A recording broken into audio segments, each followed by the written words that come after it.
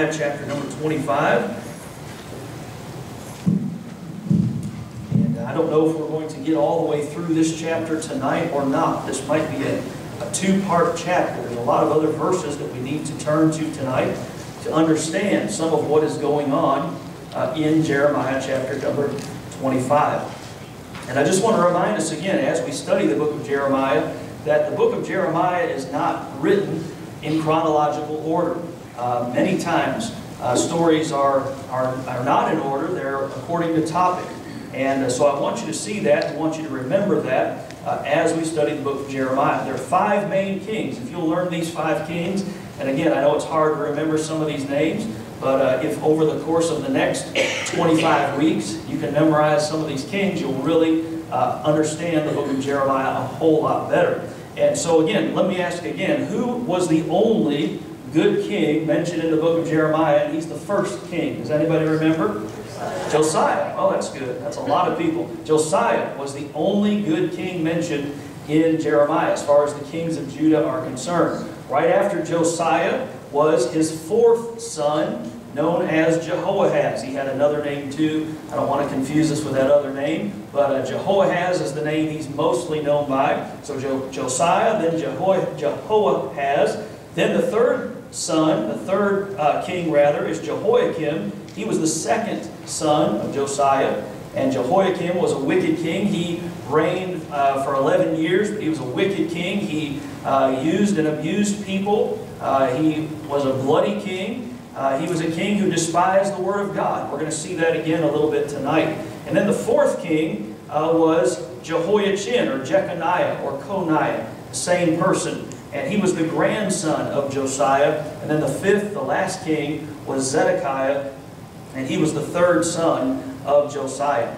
And so this, uh, this evening we look at Jeremiah 25, verse number 1. The Bible says, The word that came to Jeremiah concerning all the people of Judah in the fourth year of Jehoiakim, the son of Josiah, king of Judah. That was the first year of Nebuchadrezzar, king of Babylon. Again, Nebuchadnezzar, Nebuchadnezzar, it's the same person. Variant spelling, same person. Notice, this happens during the fourth year of Jehoiakim. Who's Jehoiakim? He's that second son. He's the third king. And again, we may not remember all this tonight, but over the course of 25 weeks, hopefully we'll remember all five of these. But Jehoiakim was a wicked king, and so this is taking place in Jehoiakim's fourth year and in Nebuchadnezzar, Nebuchadnezzar's first year as the king of Babylon. And uh, so that is the context. Just a reminder about who Jehoiakim is. Keep your finger here in Jeremiah 25. Look over in Jeremiah 36. And we've looked at this passage a little bit before. I just want you to see a little bit about who Jehoiakim is, what his attitude is towards the Word of God and towards Jeremiah and towards preaching. And uh, we'll see this here in Jeremiah chapter 36. Look at verses 1 through 3. It says, It came to pass in the fourth year of Jehoiakim. So if you can, flip back to Jeremiah 25. Look at both of these. Jeremiah 25, this passage we're about to read took place in the fourth year of Jehoiakim, and you're going to find Jeremiah preaching to Jehoiakim. Well, go to Jeremiah 36. This also is in the fourth year of Jehoiakim. The Lord didn't just want Jeremiah to preach this word, He wanted it written down. Uh, don't you love that verse that says, we have also a more sure word of prophecy?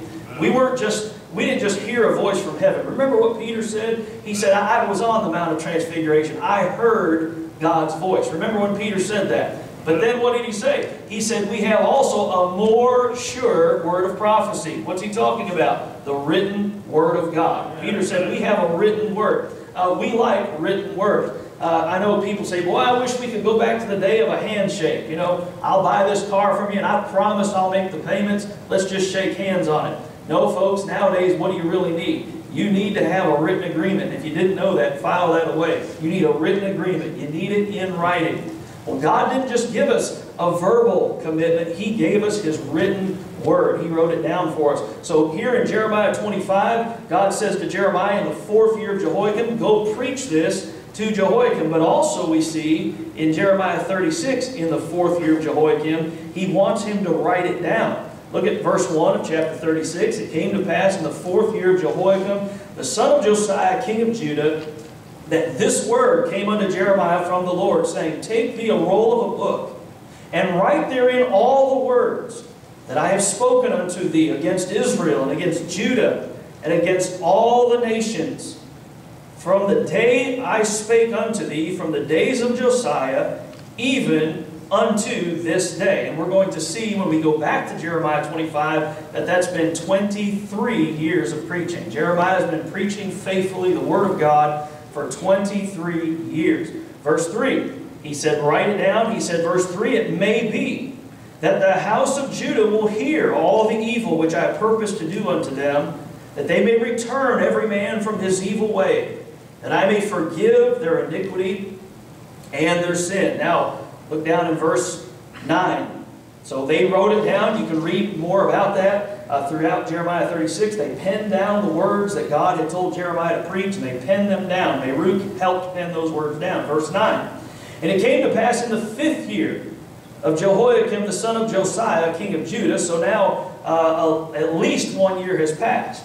Probably more than a year. Because notice, it's in the fifth year of Jehoiakim the son of Josiah, king of Judah, in the ninth month, that they proclaimed a fast before the Lord to all the people in Jerusalem and to all the people that came from the cities of Judah unto Jerusalem. Then read Baruch in the book the words of Jeremiah in the house of the Lord, in the chamber of Gemariah, the son of Shaphan the scribe, in the higher court, at the entry of the new gate of the Lord's house, in the ears of all the people. So God sends Jeremiah to preach. While he sends him to preach, he says, write it down, put it in a scroll. Uh, at, least, at least a year has passed. They call a fast. They read the book, they read the words of God to God's people. Look down now in verse number 20. Again, you can get the entire story, and we'll study it more when we get to Jeremiah 36. But look at Jeremiah 36, verse 20. The Bible says, And they went into the king, into the court. That's Jehoiakim, the one that we're talking about in Jeremiah 25. They went in to the king, into the court, but they laid up the roll in the chamber of Elishama the scribe and told all the words in the ears of the king. They didn't want to bring the roll with them. Probably because they knew what the king would try to do or would do to the words. Verse 21, So the king sent Jehudi to fetch the roll. And he took it out of Elishama the scribe's chamber, and Jehudi read it in the ears of the king, and in the ears of all the princes which stood beside the king. Now the king sat in the winter house in the ninth month, and there was a fire on the hearth burning before him. And it came to pass that when Jehudi had read three or four leaves, he cut it with the penknife. He had read three or four pages of this book. He cut it with the penknife and cast it into the fire that was on the hearth until all the roll was consumed in the fire that was on the hearth. Yet they were not afraid, nor rent their garments. They didn't tear their garments. Neither the king nor any of his servants that heard all these words. They had no fear of God. They had no fear of God's word. Can you just imagine taking the word of God, just cutting it to pieces and throwing it in a fire? But that's exactly what these people did. They had no fear of God. They had no fear of God's word. And by the way, the Lord says to this man, Why look, to him that trembleth at my word. The Lord wants people who will take his word seriously. Look at verse 27. Then the word of the Lord came to Jeremiah. After that the king had burned the roll and the words which Baruch wrote at the mouth of Jeremiah, saying, Take thee again another roll. You can burn the book. That doesn't change the truth. You can try to get rid of the Word of God, but you're not going to be able to do it. He said, Take thee again another roll, and write in it all the former words that were in the first roll, which Jehoiakim the king of Judah hath burned. And thou shalt say to Jehoiakim king of Judah, Thus saith the Lord, Thou hast burned this roll, saying, Why hast thou written therein, saying, The king of Babylon shall certainly come and destroy this land, and shall cause to cease from thence man and beast? Well, why had he written that? Because that was God's word. That's what was going to happen. Just because we don't like something in God's word doesn't mean it shouldn't be there.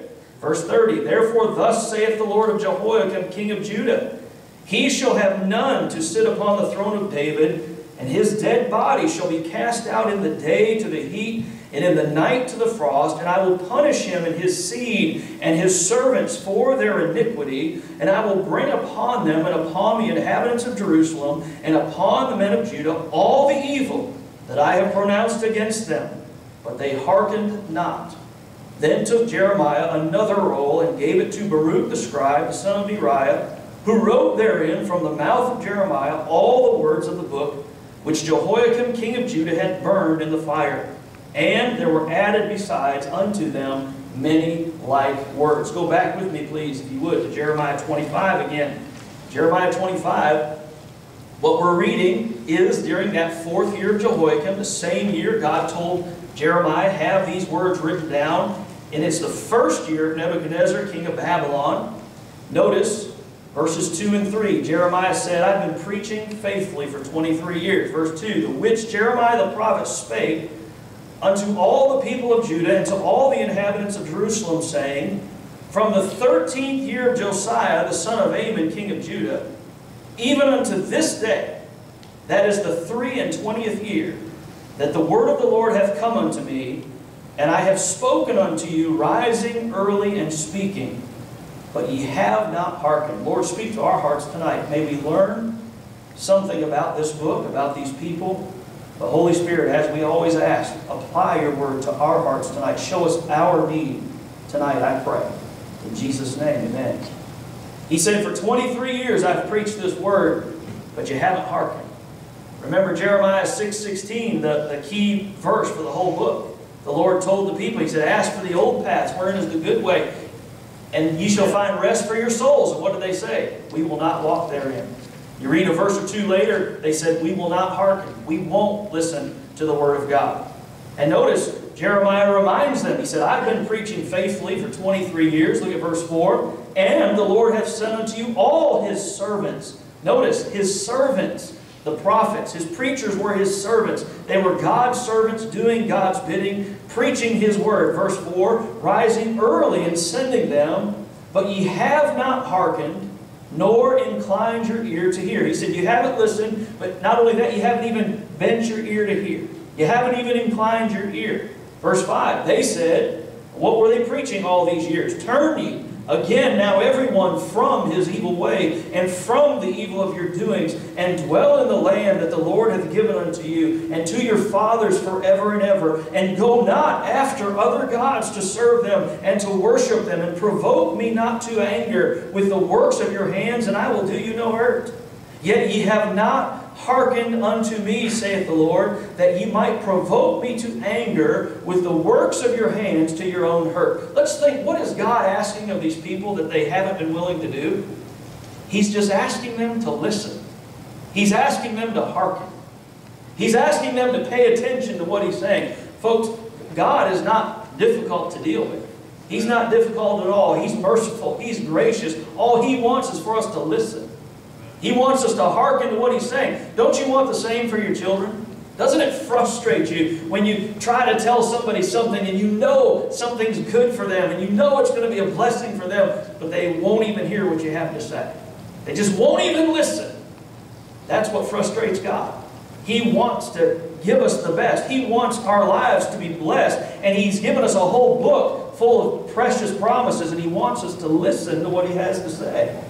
But they would not listen to God's servants, the prophets. So God said, okay, you won't listen to my servants, the prophets, then I'm going to send another one of my servants. This servant is just as much a servant as the prophets were servants. Look at verse 8. Therefore, thus saith the Lord of hosts, because ye have not heard my words at the mouth of his servants, the prophets. Verse 9. Behold, I will send and take all the families of the north, saith the Lord, and Nebuchadrezzar, the king of Babylon, my servant. You know, some people don't want the government to have any part in their lives. But the fact is that God established government as well.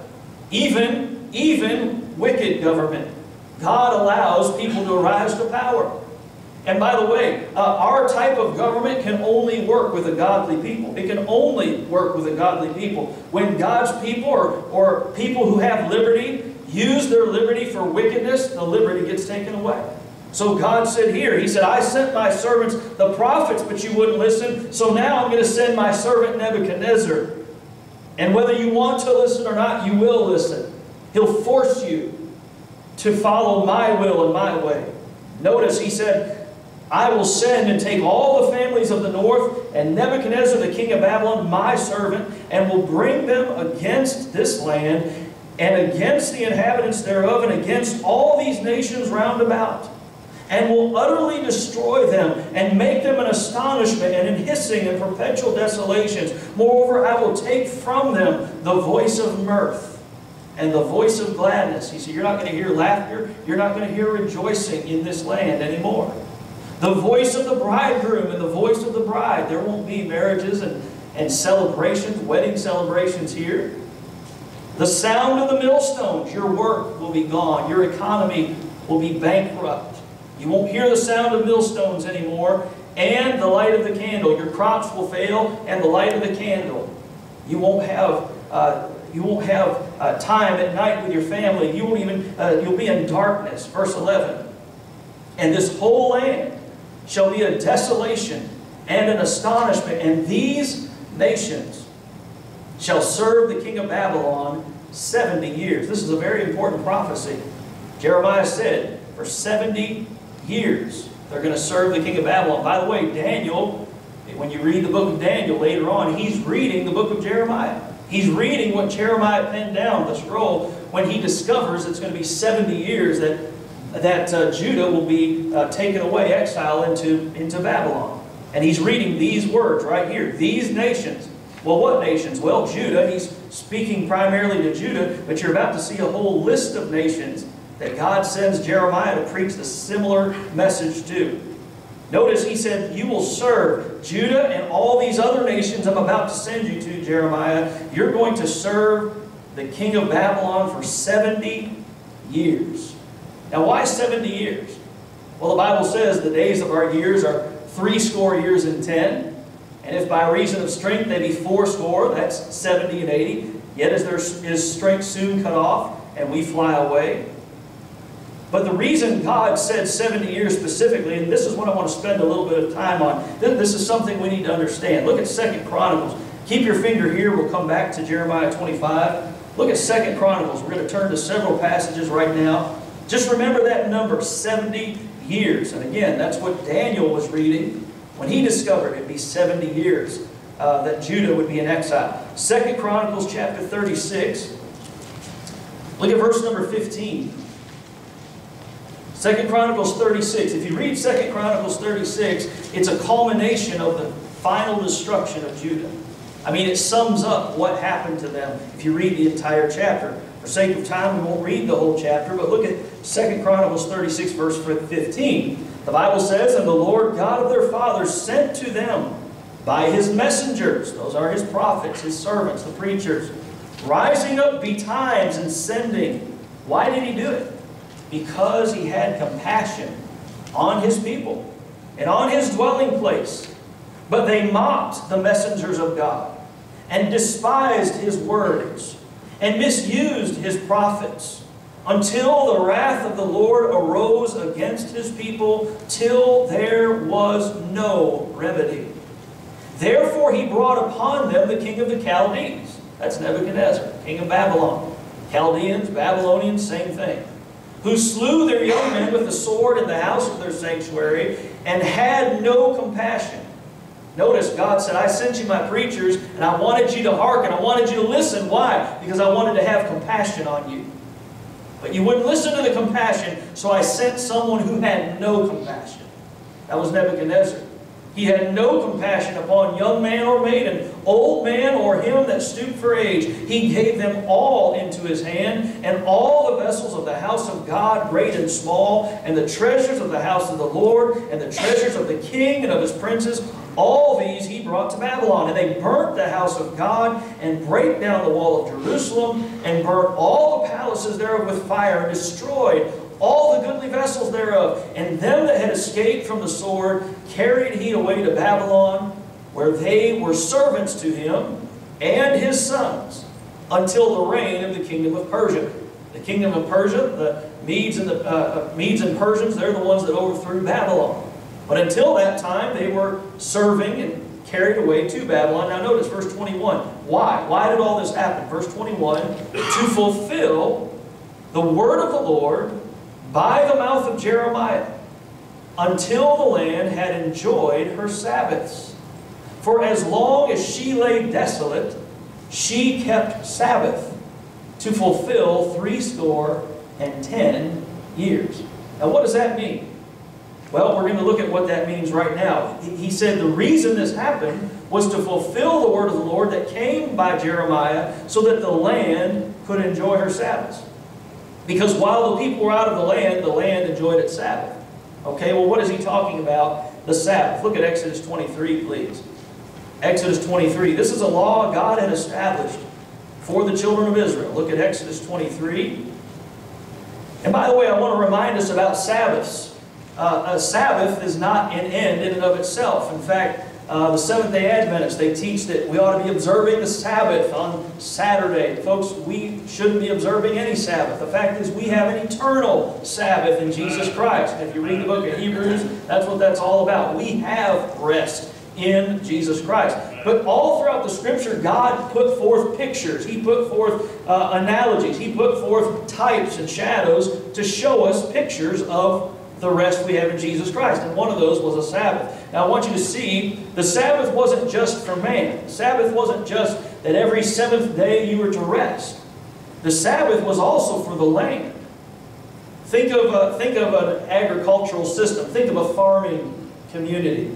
By the way, we still do this to some degree, and we should, to some degree to this day. How many of you have heard of rotating crops? Who knows what I'm talking about? Okay, you don't just plant and plant and plant and plant and plant in one field. You rotate crops. You let a field rest sometimes. You change the crop from time to time. Why? So that the nutrients can go back into the ground. Well, God told the children of Israel, and again, what's the big deal about this? The big deal is that the Sabbath was the picture of the rest that we have in the Lord. But look at Exodus 23. This was a law God had established for the children of Israel. Exodus 23, verse 10. He said, In six years Thou shalt sow thy land. He said, six years, go out and plant seed, plant your crops. Verse 10, and shall gather in the fruits thereof. And by the way, notice this wasn't just for the purpose of letting the land rest. This also was about letting people rest. This was also about allowing people to have some blessings. We're going to see that in a minute. Verse 11, But the seventh year, thou shalt let it rest, the land. Let it rest and lie still. Why? That the poor of thy people may eat. And what they leave, the beasts of the field shall eat. In like manner thou shalt deal with thy vineyard and with thy olive yard. So not just a rest for mankind, but a rest for the land. Every seventh year they work to work the land. Whatever just happened to grow of itself, they were to let it grow. And the poor of the land could go and work. We've been looking at it that in Sunday school. Uh, in the book of Ruth, God didn't have a welfare program. He had a work program whereby the poor could go out and work. By the way, the Bible still says that if any would not work, neither should he eat. The Bible still says that. It's very important that people learn to work. It's very important that children and teens learn to work. That People don't just have things handed to them with no cost. And so Jeremiah uh, uh, or rather the Lord told them in Exodus 23, He said, you're to allow your land to have a Sabbath. Look at Leviticus chapter 25. And by the way, I dare to say that most of us in this room are conservative, uh, speaking of politics and of uh, um, the way we think. I think we think conservatively because that lines up more biblically than uh, what we would now call progressive does. Uh, but let me say this, we need to be very careful about something. We live in a capitalist society, and that's a whole lot better than communism, folks. And that's a whole lot better than socialism, so don't ever mistake uh, that. But listen, there is a problem if we're not careful with capitalism. There is a problem if we're not careful, careful with extreme wealth. And that is that we develop this attitude towards the poor, towards all the poor, that says well, if they just worked as hard as I do, they wouldn't have the same trouble I had. Now again, what's the balance? The balance is, if someone doesn't work, they shouldn't be eating. Uh, the Bible says, consider the cause of the poor. Just because somebody wants some of your money doesn't mean you should give them some money that God's entrusted to you. That being said, though, you do need to check your own heart and ask, do I have a heart that's willing to help if God wants me to help? Do I have a heart that's willing to give? And yes, people will abuse that from time to time. But we ought to have a heart of giving. Jesus himself said it is more blessed to give than to receive. And this Sabbath that the Lord established was for the purpose of helping the truly poor. Now again, let, let me clarify this because we live in the wealthiest nation in the world. So when I talk about truly poor, I'm not saying they can't get cable TV and they're poor. I'm not saying they go out and eat three, four, five times a week at a restaurant. They can't pay their bills because they look, let me just, I'm, going to vent here a little bit. You got to bear with me for a minute. I remember we had a, a, time somebody came and they said, they said, Pastor, we're really hurting for money. And you, maybe you wouldn't be, but you may be surprised how many times a week the church gets asked to pay people's bills. You'd be amazed. And they said, we're really hurting for money, this, this, and this. And I said, well, then let's sit down and talk about this. And I found out they couldn't buy food for their children, but they had bought food for their dog and they had taken their dog to the vet. Folks, that's called wrong priorities. I can't tell you how many times I've spoken to someone who says, I can't pay this bill and that bill, but they're paying for cable TV every month. That's wrong. I'm not going to help you. I'm not going to hand you anything. You go cancel your cable, use that money to buy some groceries for your kids. So, again, there's a balance here. But what I'm saying is be careful that you don't get so hard-hearted because people will mistreat your generosity. Be careful you don't get so hard-hearted towards everybody. Uh, we've all been burned before. How many of you have been burned before when you've helped somebody? I've been burned before. I, have told you the story. I was a college student, and uh, I was on my bus route down in Smoketown. Does anybody know where Smoketown is? I was in Smoketown. And right there around Caldwell Street and uh, what was it, Caldwell I think Breckinridge or somewhere right in that area. And I was visiting and I was knocking on the door. Actually, I was on Shelby Street when I first met this guy. He was going door to door and he had a little styrofoam cup in his hand. And he said, hey, he goes, hey, excuse me, brother. He called me brother. He goes, did you hear about that house that burned down? I Went, no, I didn't hear about it. He said, that was my house. I went, oh, you're kidding. He goes, yeah, we lost everything. He said, I'm, I'm looking for a little bit of help. Can you help me? I said, and I'll do what I can. I went, I was a college student. And I've told you some of my pitiful college student story. I went into my Bondo colored sable station wagon, Bondo in blue, and I dug through the seats and I dug and I got as much change, all the money I had in the world. It came to like $2 and something cents. And I dug all that change out and I put it in the guy's cup. And I gave him a track too. So that was a good thing. A couple hours passed. I was still on the bus route and I was visiting. And I was talking to this group of kids, just you know, a few blocks away from where I'd been before. And I see that guy walking up the street. He has a bottle of beer that big. He's smoking a cigarette. He's going, and, and you know, he's one, one swig, one puff. And I got mad. I got really mad. And I went, hey! And I yelled at him. And uh, the boys, they go, you know that guy? I said, yeah, I know him. they said, oh, he carries a big knife like this with him. I went, oh, okay. God bless you. You know, no, I didn't say, I didn't say anything else to him, man. But he burned me. I mean, he, you know, that's wrong. That's wicked for somebody to do that, to abuse somebody's generosity like that. It's wicked. And it's wicked for people to go pay cable TV bills and, and, uh, and enjoy hobbies but not feed their kids. That's wicked. That's wrong. Amen. Now, that being said, yes, there are some bad apples out there. We ought to have a heart that says if God presents a need to me that I can help with, I'm going to do it. Now, this is part of what this Sabbath for the land was about. Look at Leviticus chapter 25. Again, we're going to read a lot of passages here. But Leviticus 25, verse 1, the Lord spake unto Moses in Mount Sinai, saying, Speak unto the children of Israel, and say unto them, When ye come into the land which I give you, then shall the land keep a Sabbath unto the Lord. The land shall keep a Sabbath. Verse 3, Six years thou shalt sow thy field, plant your fields, six years thou shalt prune thy vineyard and gather in the fruit thereof. But in the seventh year shall be a Sabbath of rest unto the land, a Sabbath for the Lord.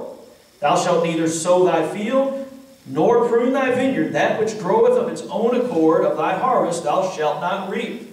Neither gather the grapes of thy vine undressed. For it is a year of rest unto the land. And the Sabbath of the land shall be meat for you, for thee, and for thy servant, and for thy maid, and for thy hired servant, and for thy stranger that sojourneth with thee, and for thy cattle, and for the beasts that are in thy land, shall all the increase thereof be meat. And thou shalt number seven Sabbaths of years unto thee. Seven times seven years. All right, some of you kids, what's seven times seven? Uh-oh. How many of your brains are already fried from math today? Some of these guys are now in school doing algebra. Like, you can hear the brain frying. What's seven times seven? Anybody know? 49. 49. Very good. Notice verse 8. Seven times seven years. And the space of the seven Sabbaths of years shall be unto thee 40 and 9 years. There it is. So every seventh year, he said, let your land rest. Don't sow it. Uh, don't, don't plant. Let it grow of its own accord. Let it be for the poor of the land. Let them go out and work. Verse 9. Then shalt thou cause the trumpet of the Jubilee to sound on the tenth day of the seventh month. In the day of atonement shall ye make the trumpet sound throughout all your land. And ye shall hallow the fiftieth year. So there were two years in a row, that 49th year and the 50th year, that were it was a double Sabbath, where you just let your land rest. Say, well, how in the world are we supposed to live? Well, they asked that question, and the Lord answers it here in just a minute. Notice, he says, It shall be a jubilee unto you, and ye shall return every man unto his possession, and ye shall return every man unto his family. A jubilee shall that fiftieth year be unto you. We looked at this in the book of Ruth. If a man became poor and he had to sell off his land, it would return to him in the year Jubilee. If he were uh, uh, sold into service, he would be free in that year of Jubilee. Uh, notice uh, verse uh, 11 A Jubilee shall that fiftieth year be unto you. Ye shall not sow, neither reap that which groweth of itself in it, nor gather the grapes in it of thy vine undressed. For it is the Jubilee, it shall be holy unto you. Ye shall eat the increase thereof out of the field. In the year of this Jubilee ye shall return every man unto his possession. And uh, look down in verse uh, 17. He says, Ye shall not therefore oppress one another, but thou shalt fear thy God, for I am the Lord your God. Wherefore ye shall do my statutes and keep my judgments and do them, and ye shall dwell in the land in safety, and the land shall yield her fruit. And ye shall eat your fill, and dwell therein in safety. Verse 20. And if ye shall say, What shall we eat the seventh year? Okay, so we only sow for six years. What are we supposed to eat in year seven? Behold, we shall not sow nor gather in our increase. If God told them not to do something, is it for their benefit? It's always for their benefit. Remember on the seventh uh, day when he told them, take a break on the seventh day, don't gather manna on the seventh day, I'll give you double on the sixth day. Remember the guy who gathered manna? What happened? It bred worms and stank, the Bible says. God said, I'll take care of you. Notice they said, What shall we eat the seventh year? Uh, Behold, we shall not sow nor gather in our increase. Verse 21, he said, Then I will command my blessing. How many of you want God's blessing? Sometimes God tells you to do things that don't make financial sense. It doesn't make financial sense to say, I'm going to sow six years and then leave it the seventh year. But it makes total sense when God said, I'll bless you if you do this. It makes total sense. It's faith. God said, just believe me, trust me. Let it sit the seventh year, and I'll bless you. Notice he said, uh, I will command my blessing upon you in the sixth year. And it, the sixth year, shall bring forth fruit for three years. Isn't that amazing?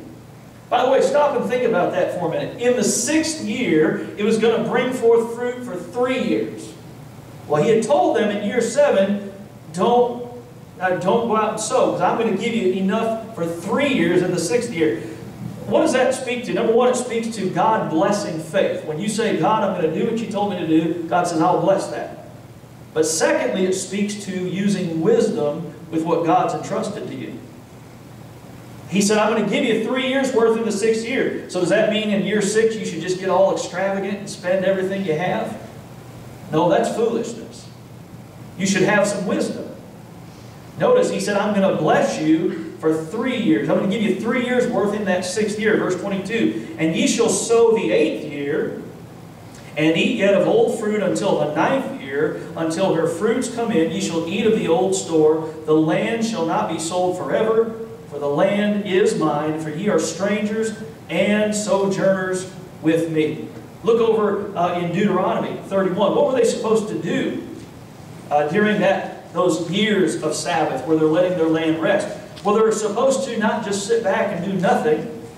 One of the things they're supposed to do is focus on their children and their family's spiritual life. Look at Deuteronomy 31, verse 10. He said, I want you to take that time I've given you. I want, to take, want you to take those blessings I've given you, and I want you to use them to invest in your family spiritually.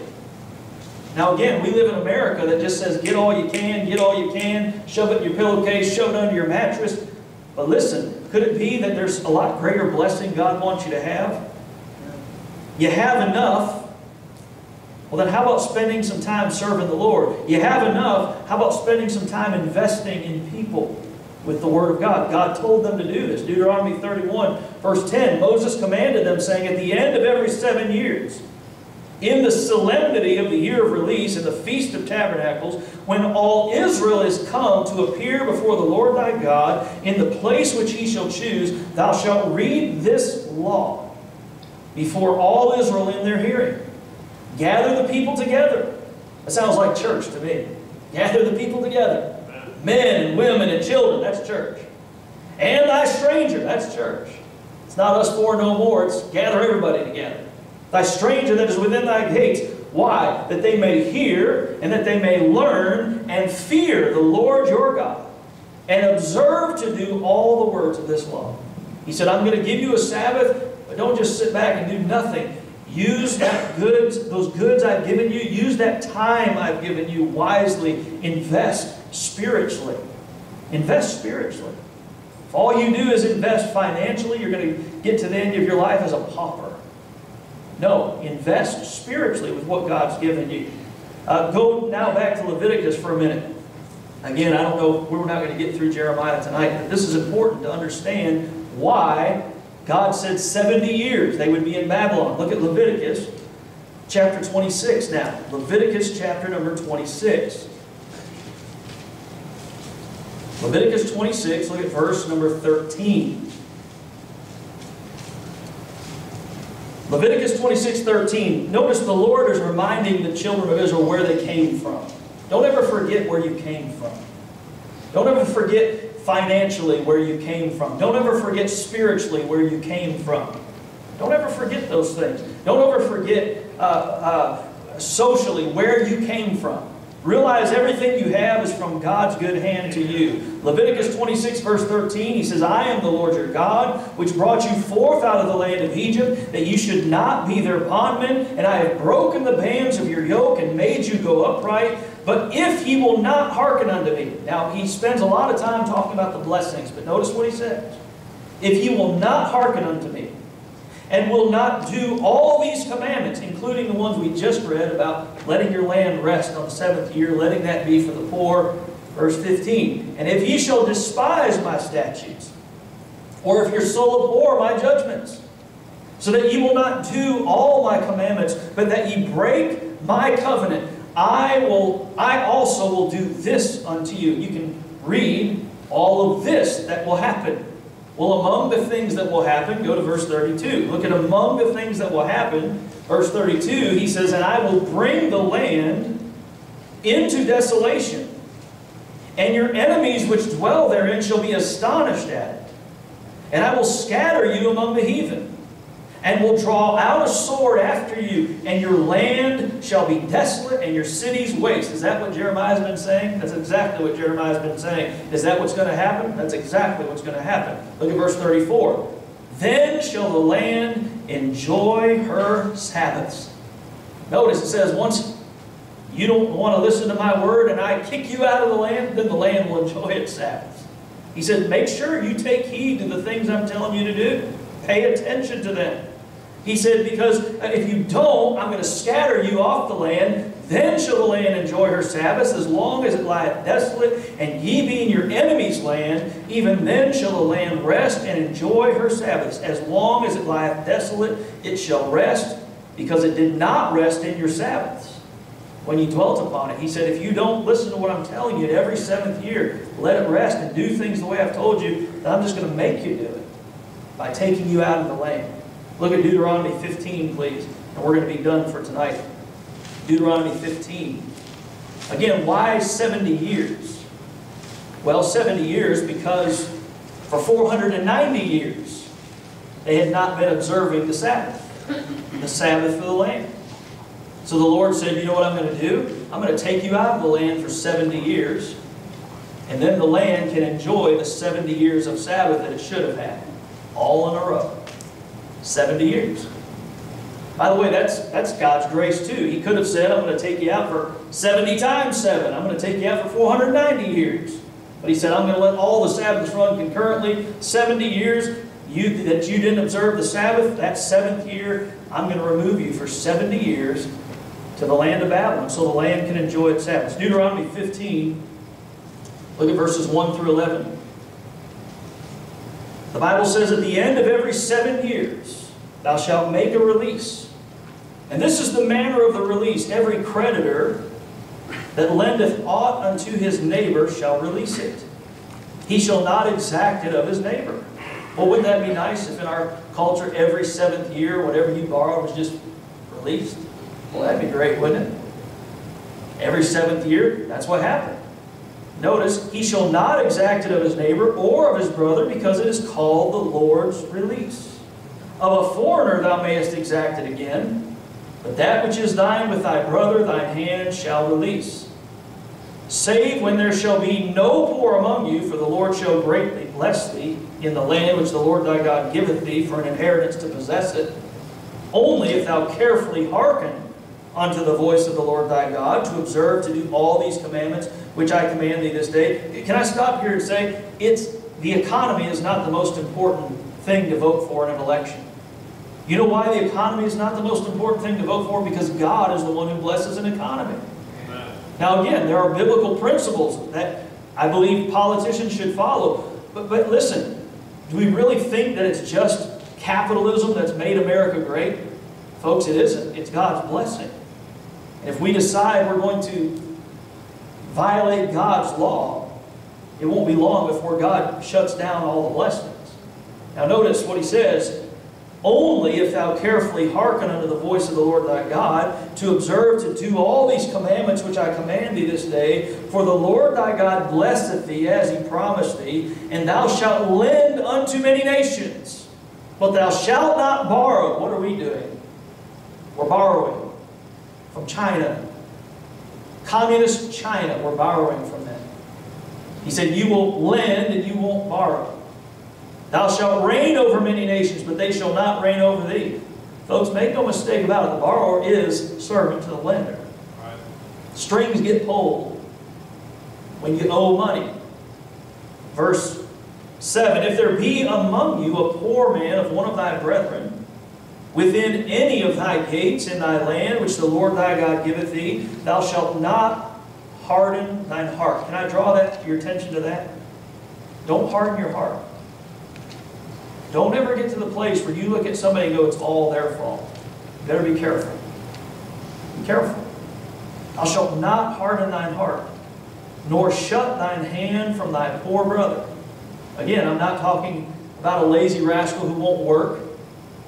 But if there's a need that you can help fill, you need to have that heart that would help do it. Verse 8, But thou shalt open thine hand wide unto him, and shalt surely lend him sufficient for his need and that which he wanteth. Beware. Now this is God warning. Beware that there be not a thought in thy wicked heart. Boy, God's calling it like it is.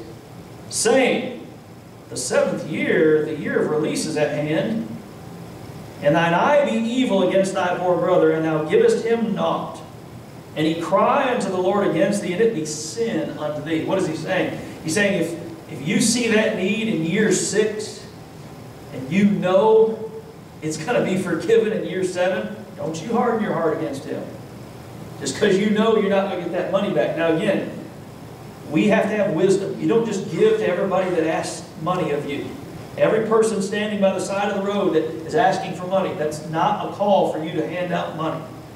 Make sure you understand that. You're responsible to be a good steward of what God's entrusted to you. However, the Bible still says, consider the cause of the poor. It still says that. If God shows you a need that's a legitimate need and you can help with it, you should do it. Look at verse 9. Now, verse 8 Thou shalt open thine hand wide unto him, and shalt surely lend him sufficient for his need. In that which he wanteth, beware that there be not a thought in thy wicked heart, saying, The seventh year, the year of release is at hand, and thine eye be evil against thy poor brother. And thou givest him not, and he cry unto the Lord against thee, and it be sin unto thee. Thou shalt surely give him and thine heart shall not be grieved when thou givest unto him. Well, this is dealing with the heart, isn't it? What does Matthew 6 say? Where your treasure is, what? There will your heart be also. I, I know this all flies in the face of capitalism. I know it does. I, I know it does. But folks, there's a balance here. Socialism's wicked. That's taking other people's money and giving it up to other people. That's wicked. Communism's wicked. Forcing people to do things that they should have the liberty to decide for themselves. Capitalism is the best economic policy, but even with that, God's people ought to have a heart that says, I'm going to consider how God wants me to manage what He's entrusted to me. Verse 10 Thou shalt surely give him, and thine heart shall not be grieved when thou givest unto him. Now, don't miss this. Don't miss this. Because that for this thing the Lord thy God shall bless thee in all thy works, and in all that thou puttest thine hand unto.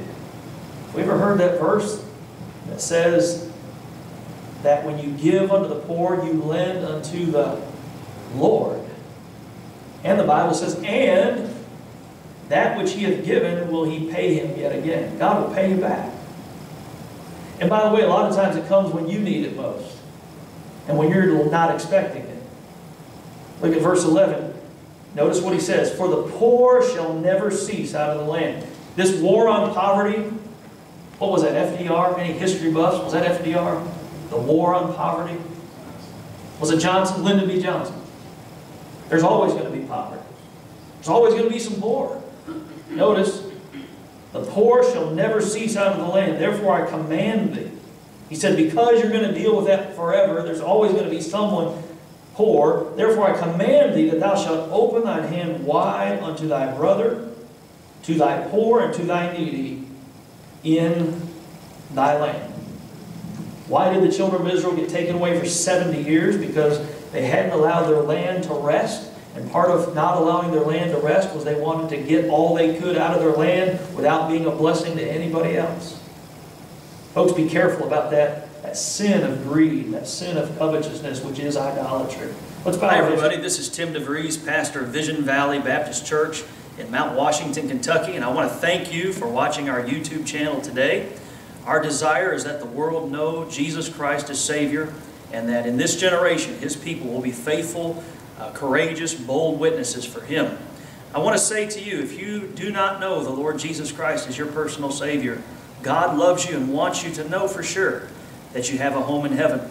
In order to know for sure you're saved and that you're going to heaven, the Bible tells us we need to know, first of all, that we're all sinners. The Bible says in Romans 3.23, For all have sinned and come short of the glory of God. Because of our sin, we don't measure up to God's glory. God is perfect, we are not and sin keeps us out of heaven. Secondly, the Bible says, For the wages of sin is death. The Scripture says, The soul that sinneth, it shall die. Revelation 20, 14, and 15 says, And death and hell were cast into the lake of fire. This is the second death. You're going to spend eternity somewhere. And because of our sin, we don't deserve heaven. Unfortunately, we deserve a devil's hell. But the good news is this, that God loves us. And because He loves us, He made one way of salvation. It's not through a church, it's not through a religion, it's not through doing the best works you can do. The only way he made to get to heaven is through his Son, Jesus Christ. Jesus said this, I am the way, the truth, and the life. No man cometh unto the Father but by me. And in Acts 4.12, the scripture says, Neither is there salvation in any other, for there is none other name under heaven given among men whereby we must be saved. Jesus came to this earth. He was born. He lived a perfect, sinless life. The Bible says in Romans 5.8, But God commendeth his love toward us in that while we were yet sinners, Christ died for us. Jesus took our place on the old rugged cross. He was crucified, buried, and rose again to pay for our sins.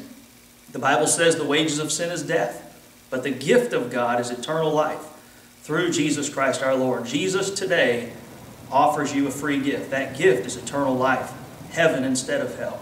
And if today you're willing to trust the Lord Jesus Christ as your personal Savior, if you're willing to call on Him today to save you, the Bible says that if thou shalt confess with thy mouth the Lord Jesus, and shalt believe in thine heart that God hath raised him from the dead, thou shalt be saved. Romans 10.13 says, For whosoever shall call upon the name of the Lord shall be saved. Would you call on the Lord Jesus Christ right now to be your Savior? If you will, He promised He would save you. Feel free to contact us with any questions. We want to help you grow in your walk with Jesus Christ. God bless you.